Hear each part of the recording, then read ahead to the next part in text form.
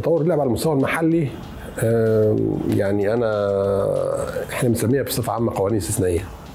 القوانين الاستثنائية دي عليها جدل من السبعينات والثمانينات عندنا في مصر يعني في حكاية عليها طويلة.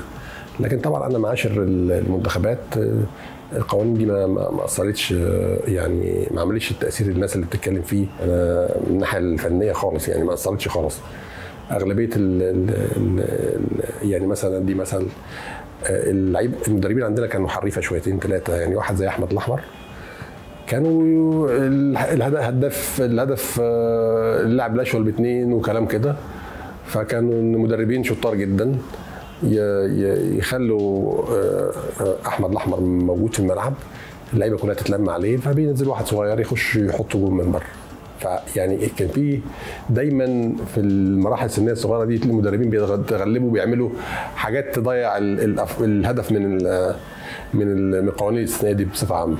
لكن طبعا أنا يعني أنا مش مع ان إن هي أثرت بشكل كبير. هي كانت محاولات وأفكار.